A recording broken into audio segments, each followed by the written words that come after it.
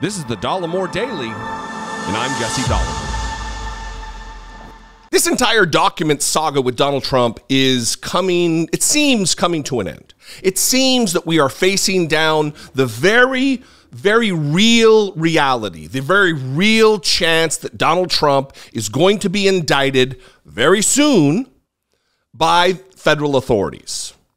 Yesterday morning, his lawyers were caught by CBS News going into the, the headquarters of the DOJ, presumably to have a meeting. I'm, not, I'm sure they're not just going to go enjoy the coffee in the lobby.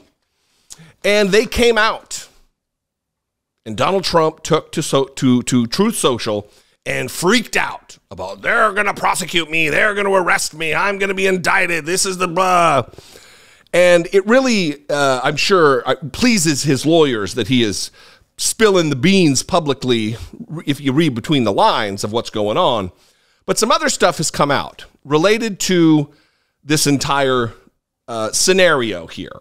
And it is that Donald Trump, it seems, unless it's just the most of, of sheerest of coincidences, seems was trying to destroy surveillance evidence that is collected through the, the closed circuit security system of his, hot- of his hotel, of his uh, home and resort, Mar-a-Lago, that they flooded a room that contained a bunch of IT sources, a bunch of uh, closed circuit TV sources. They flooded it. It seems like maybe in an attempt to destroy the evidence. I'm going to read from the CNN article. They're the one with the exclusive on this. Uh, the headline here exclusive Mar a Lago pool flood raises suspicions among prosecutors in Trump's classified documents case. Now, this would go to obstruction. This would go to uh, attempting to, to destroy evidence that could be used against Donald Trump. Don't get it uh, confused. That is not the right of someone. That is not online with uh, not being forced to testify against oneself. You know, the Fifth Amendment of the United States Constitution.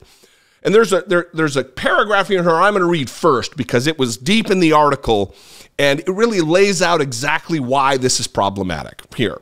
Agents first subpoenaed, it gives the timeline, actually. Let me explain what. It gives the timeline of when they subpoenaed uh, the material, and then subsequently when the pool flood happened. Agents first subpoenaed the Trump organization for Mar a Lago surveillance footage last summer before the August search by the FBI. But as more classified documents were found through the end of the last year, investigators sought more surveillance footage from the Trump organization, sources tell CNN. That included an additional subpoena after the FBI search in August and a request from the Justice Department for the Trump Organization to preserve additional footage in late October, according to one of the sources. And that brings us to the information we learned yesterday that there's a figure who works for the Trump organization, who or who works for Mar-a-Lago, a maintenance worker or something like this, who was involved in the moving of classified documents from one location to the other. He was very likely part of the dress rehearsals that were done so they could have their movements down to try to avoid the knowledge of the federal government of what they were doing. This same person is alleged to be the person who drained the pool and oopsie flooded the room that contained all of the sensitive surveillance footage.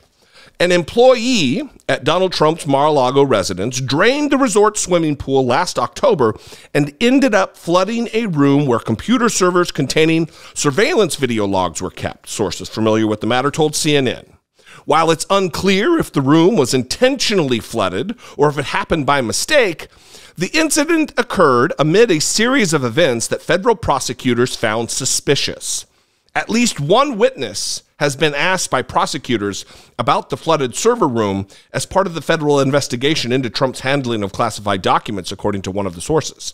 The incident, which has not been previously reported, came roughly two months after the FBI retrieved hundreds of classified documents from the Florida residence and as prosecutors obtained surveillance footage to track how White House records were moved around the resort prosecutors have been examining any effort to obstruct the Justice Department's investigation after Trump received a subpoena in May 2022 for classified documents.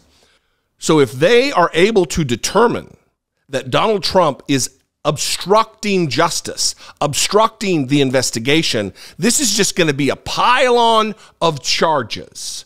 And again, if Donald Trump did nothing wrong, why would he be trying to conceal? Why would he be trying to obstruct?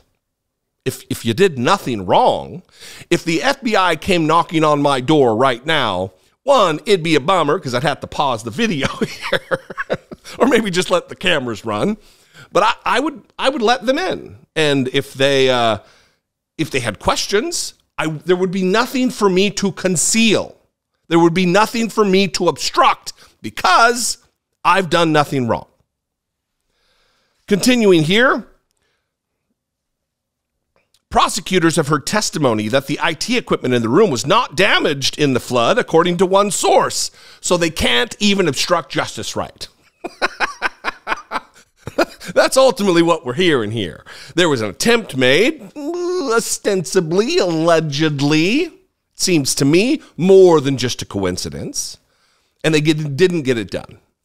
Yet, the flooded room, as well as conversations and actions by Trump's employees while the criminal investigation bore down on the club, has caught the attention of prosecutors. The circumstances may factor into a possible obstruction conspiracy case, multiple sources tell CNN, as investigators try to determine whether the events of last year around Mar a Lago indicate that Trump or a small group of people working for him took steps to try to interfere with the Justice Department's evidence gathering. Now, listen. You rest assured that if the DOJ comes knocking to that particular maintenance worker or anyone else outside of the political echelon of Donald Trump's surrounding uh, compatriots, they're going to squeal somebody who is the guy who drains the pools at Mar-a-Lago and is hired by the by the club to move boxes around isn't going to take a header for Donald Trump. They're not going to take one for the team. If there is pressure by the federal government that they were part of a conspiracy to obstruct justice, you know they're going to sing. You know they're going to flip on Donald Trump and give the goods. Things are getting worse and worse and worse for Donald Trump with every new revelation. I have said this. I used to be someone who thought this was never going to happen. And as things, as slowly as they're going, as they shifted, it does appear to me that it is more likely than not. I'm not saying it's a slam dunk, but it's more likely than not that we're going to see Donald Trump arrested, brought to trial, convicted, and sentenced for his crimes. What do you think? I'd love to know. You can call, leave me a brief voicemail, 714 576 4054. Of course, you can always email me daily at dollemore.com. Just put it in your contact list. Just put me, Jesse Dollemore, email, phone. And when you have a thought, you can contact me. um, Thanks for joining me today. We can mix it up in the comments. I'd love to hear. We could really uh, talk about this in the comments. One, that helps to game the algorithm. It helps to get this content and this channel introduced to new people. Which, while I'm talking about that, if you have not subscribed already, please subscribe to the channel. Uh, it's been a long road, but I'm almost to 500,000 subscribers, and I'm trying to get there by the end of the year. And it's only with your help that I'm going to be able to do it. If you want to do more than than just subscribe you can uh, become a channel member for $1.99 a month. Click the join button below. You can click the super thanks button below, give uh, immediate support, or even better, you can go over to patreon.com slash I doubt it podcast. I love you guys. Appreciate you very much. Thanks for being engaged with my content. Thanks for caring about the world we live in. I'll see you next time. Until I do, be genuine. Take care of one another.